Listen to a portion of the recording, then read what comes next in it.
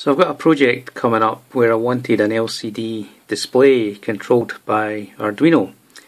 Um, and I've used these displays before and you know they're, they're pretty straightforward to use, pretty, pretty standard. Um, and so I got this one off eBay and I paid £1.57 uh, delivered which is just incredible. And we look at it and it's you know the quality of the board is very very good. It's got the gold flashing on all the all the contacts there. Um, the soldering all looks good, um, everything hunky dory. But I couldn't get it to work, and I, you know, just puzzled by that because, as I say, I've used them before. Um, and I thought, well, there's something wrong with this actual board. And so I contacted the seller, and you know, experience on eBay with uh, uh, looking for support is a bit variable. But I have to say, in this case, it was absolutely outstanding. Um, the seller came back and he pointed me to the data sheet and he was making sure that I was, you know, everything was connected up properly. And then he, he just offered to send me three replacement parts just so that I could, uh, a, you know, had enough material to work with really. Um, so he did that, arrived next day, and so I, I took one of these new ones out and I had the same problem, couldn't get it to go um, curious effects uh, on the display. So anyway, let's go and have a look at what I found.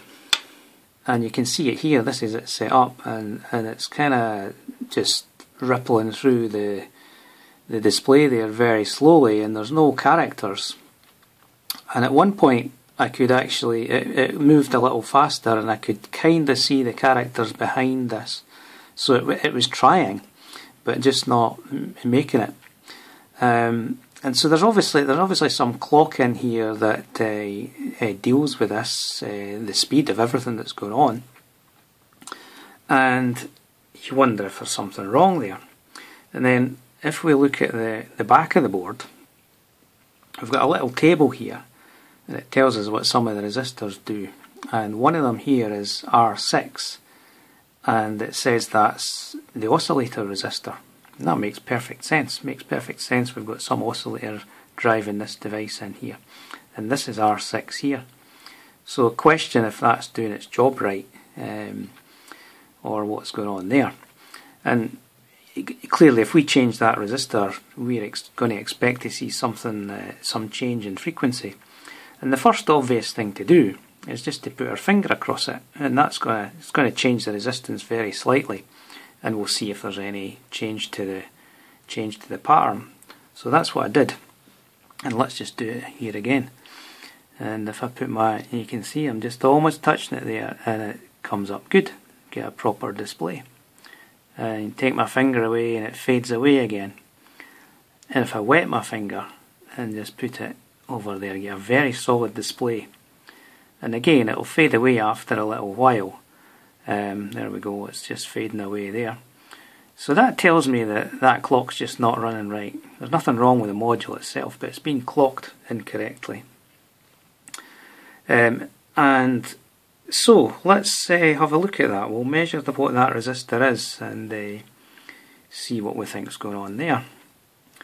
So measuring the, the resistor, what we see is it's reading about a megohm there, uh, 0.8, 0.9 of a megohm, which seems very high for a, a clock uh, resistor.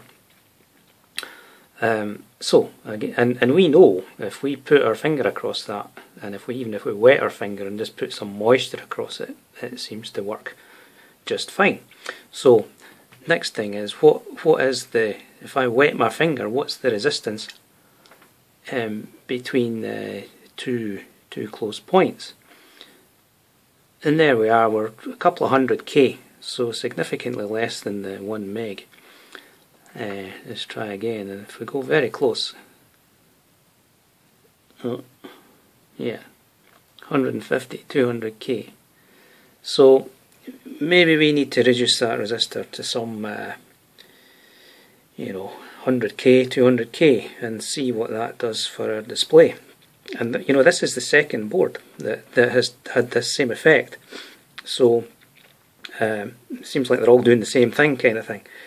Um, so let's think about changing that resistor and uh, see what effect it has.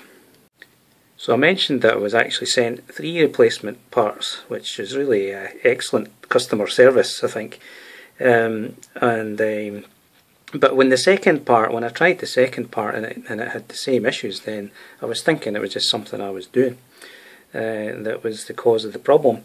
But before before I go and jump in and change any resistors here, I thought it was a good idea to actually go and measure the the two remaining units and just see what they read. And uh, so we go in there, measure R6, and lo and behold, it's reading 91k. Uh, and if I read the, the other one, 91k.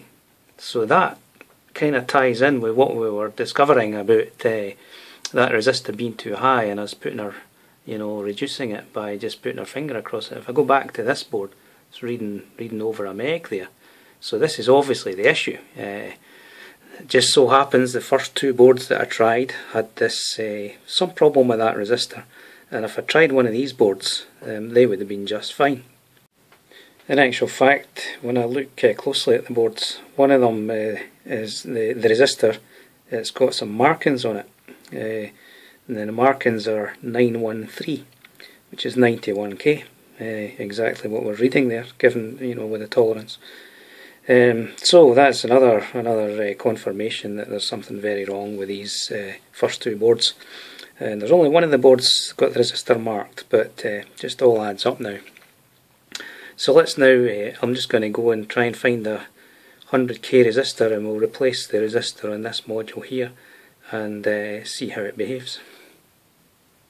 So before we go and change the resistor I thought it would be worthwhile having a wee look on the scope at the clock. And so probing R6 there, you can see I'm, I'm even I'm lower than 100 hertz there, I'm about 80, 80 odd hertz. Uh, and uh, now that clock, that clock, 70 odd hertz, that clock is going to be divided inside the logic device here for all sorts of functions.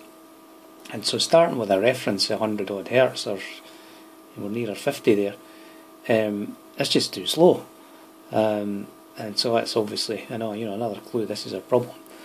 So let's just wet that resistor again, put some moisture across it and uh, reduce its resistance. And if we probe in, you know I've gone you know the scope uh, you can see that it went really high and then uh, it's dropping down back to the 100. Let's try again. See if we can measure the highest frequency. So we're over 200 kilohertz there and, and dropping. So that's the issue. So let's go and change that resistor and see uh, what that does for us. So resistor's changed then, let's just have a quick look at the clock.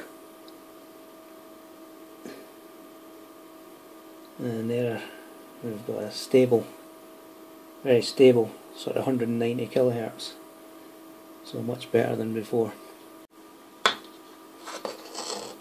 So turning the display over then, uh, you can see it's just working just fine as, as we would expect. Uh, so that's been our problem and uh, if you've got one of these displays and you, you see this kind of rippling effect and uh, not getting the proper proper thing on the screen then uh, maybe worth having a look at R6 that could be your, your problem. So at the start of this video I had the 8-bit uh, connection to the display um, you know, during my sort of searching as to what was going on, I wondered if it uh, actually needed the 8-bit uh, uh, data to actually make it work. So I connected that up, and I still had the problem. So uh, I wasn't sure if it needed the 8 bits or not. Uh, but now we're at the end of this investigation, and I've, I've removed the lower four bits, uh, and it's working just fine. So the you know the connection configuration in this display is absolutely standard, uh, no issues whatsoever, um, and that's us good to go now. Display is working quite happily.